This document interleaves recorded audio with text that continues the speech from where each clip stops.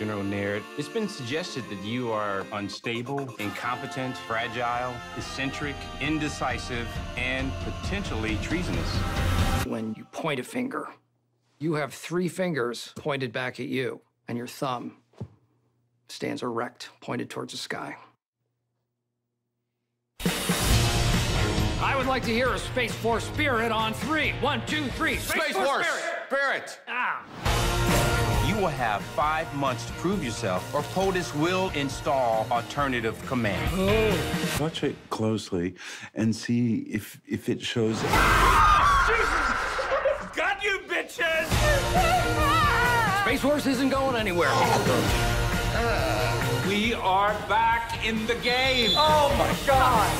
What's going on with us? This is yeah. Oh, I'm Really? gonna blow this interview. No, you won't. What have you done for you? Showtime, baby. Give me a hit of that jive, Parsley. Are you sure? Yeah. Hit me.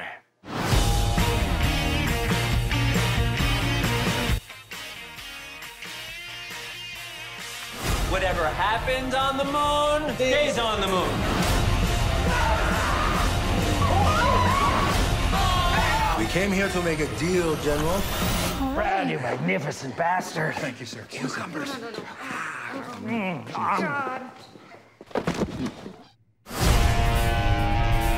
Hello, Captain Lancaster. How are you? You know, I miss I miss Earth and uh, my family and food and uh, standing up in gravity and you know, apparently my heart has shrunken a little bit.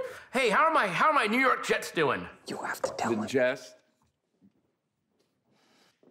Uh,